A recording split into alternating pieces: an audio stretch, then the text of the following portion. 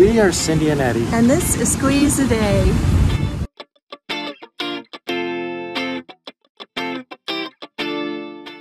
Hi folks and welcome back to another video. Today we're still in Palenque and we're going to be taking you to a special place that we've heard of called Agua Azul Waterfalls. These are the Agua Azul waterfalls in the Palenque area between Palenque and San Cristobal de las Casas. So we're really excited about that. There's several ways to get to this Agua Azul. We're going from Palenque and we're going to show you how to get there the most cost-effective way. As you can see, we're here in our Airbnb and we're going to be heading out right now to get our Colectivo bus. We are having an early start. It's about an hour and a half drive from here and with Colectivo it's gonna be a bumpy ride. We're really excited to take you with us, so let's go. For the Colectivos, there's really one place that you want to stop and pick them up at, and that is... That corner right there. I'll show you a closer picture right now. That's where the circle is, right around that corner. So you're gonna come from that corner down to here to get to it if you're coming from the circle. We're gonna be getting onto this Colectivo right there. So we loaded up into that van right there and are just waiting for it to fill up before we can leave. We're gonna see how long it takes. We are on the way and it should take about an hour and a half to get there. An hour and a half is kind of a long drive. However, Palenque is the closest city that has a bus depot and airport, making it an ideal location. Plus, it was a good view along the way, so it was nice to be able to sit back, relax, and enjoy the ride. We just got off the Colectivo and grabbed a taxi. We'll tell you more about our adventures once we get up to the entrance.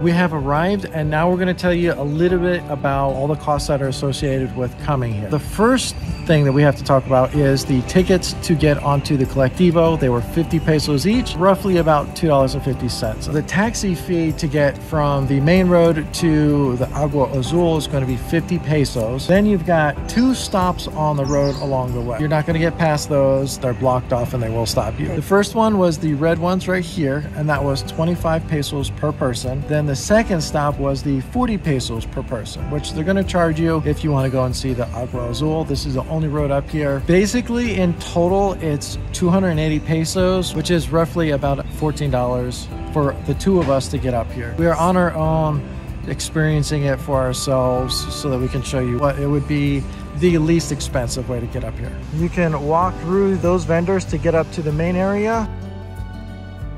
There's some really cool things to look at and purchase. Bring some money for food or souvenirs. Oh wow, look, check that out. Yes, the water really is that amazing. It's our first glimpse, but we've got a lot more to see, so we're going to keep going.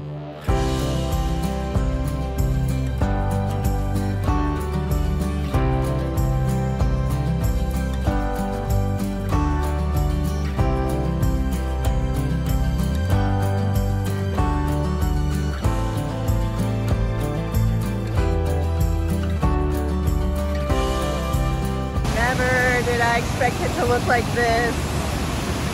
Wow. This is going to be your first major look at the waterfalls. There is an actual place to stop and enjoy the view for a minute. So we're gonna do that. Then we're gonna continue to go up that path to see what else we can find up there. As we continued up the path, it turns out there were a lot of vendors along the entire route. Guard dog, I know it looks like a lot of steps right now, but we really wanted to get to the top of it so that we could show you as much as possible. And this is just blowing us away. It's at this point that we're realizing we needed a lot more time to really do this place justice. We're still going up higher. We've been climbing for a little bit, and if you get to the point where you're tired halfway up, you actually do have a place that you can stop and enjoy some of the water now. I'm just curious, without having seen the rest of the waterfalls, how many of you would have stopped here to enjoy this view? Leave a comment below right now. To the right is going to be the main viewpoint they want you to see. To the left is going to be the swimming area. We'll go look at that in a little bit. First thing to note, there is a path that takes you directly to where this overlook is. Second thing to note, even if there wasn't, that view would totally be worth the walk. Just make sure you're safe up there.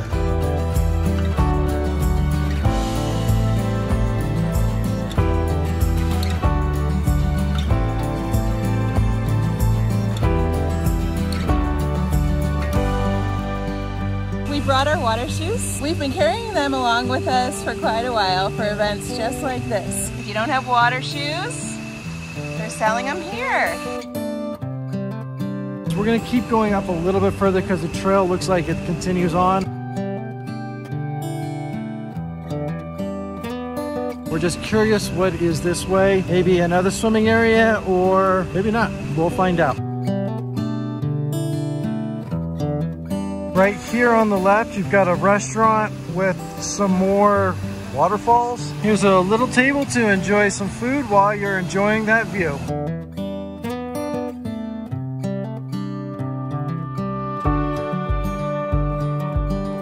They obviously have some lifeguards set up ready for you in case it's necessary. It's necessary. It's necessary.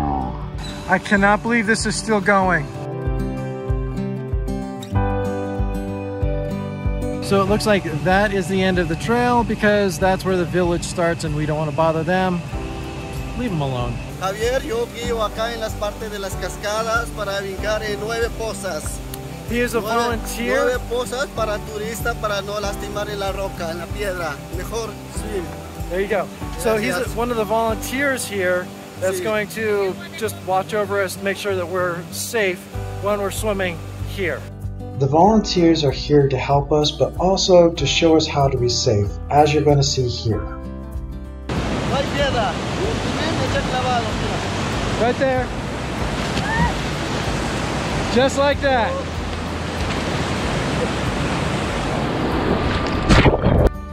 Did you notice that even the child knew the safe routes and where everything was so that they could swim and be safe? It's important to note that. Make sure you're listening to the local volunteers that are there to help you out. More on that in just a minute. I'm going to continue swimming and having fun.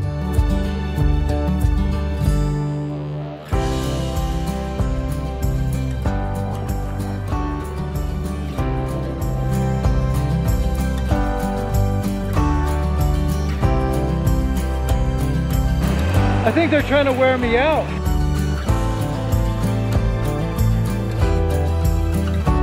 That's a lot of fun. Unfortunately, the couple next to us was swimming in really strong current, and the gentleman was caught under a log where the strongest current was. Because of his predicament, several of the local volunteers jumped into action to help him. As we watched over the period of 30 minutes, they struggled to remove him from under the log. Because of the strength of the current and the force it pushed on the log, it was very difficult to remove it from on top of his leg. Several volunteers were there putting themselves into a tough situation in order to help him out, and our friend Javier was injured in the efforts. Fortunately, they were able to rescue the swimmer, and he immediately left to go to the local hospital to seek medical attention for his injuries. There's a big log under the water right there that is causing an even stronger current, and the guy got caught under there. We are absolutely having a lot of fun here. We just want to give you a little heads up. Please listen to the volunteers and the guides. Make sure that you're doing what they tell you to do to keep you safe. It's very important. Así es, no pueden nadar solos. Cuando vienen a nadar acá, no vayan a meter solos por esa parte porque está peligroso.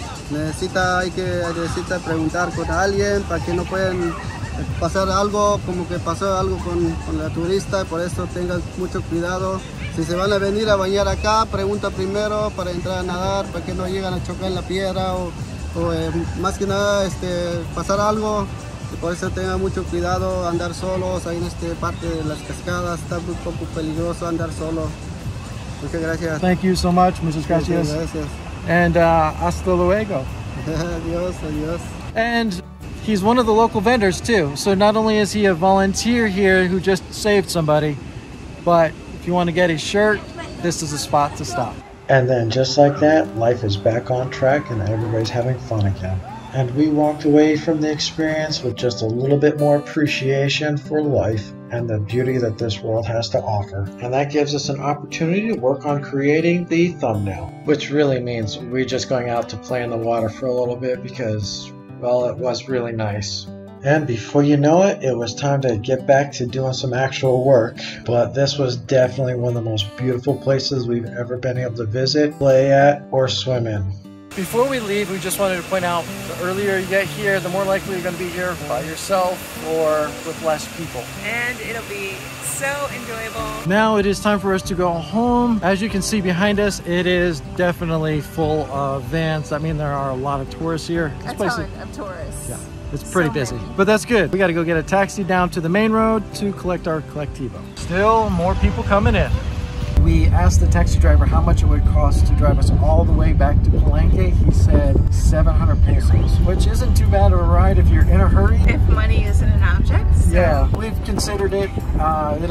It would also be a lot more comfortable. This ride is pretty nice. Really so. nice, but we're budget travelers, so we are going to take the pay 50 per person. here we are. If you happen to be driving up here on your own, the sign is clearly marking where you need to go. They also have on the other side of the road more directions. And if you're waiting for your Colectivo, just join us. The very last part of the trip is that you're gonna get off right here, which is right after Palenque sign. That is one of two circles here. The other one is right up here by the ADO. So it's real easy. Once you're here, they're just gonna get off and then get you to where you need to go. If you've made it this far, thank you so much for watching. We really appreciate each and every one of you. And stay tuned, we've got another video coming up of our travels and adventures. In Mexico. If you like this video, make sure you hit that like button. And if you're not subscribed, hit the subscribe button and ring the bell for notifications so that you can continue to follow along with us as we continue on this adventure. And as always, squeeze the day and be well.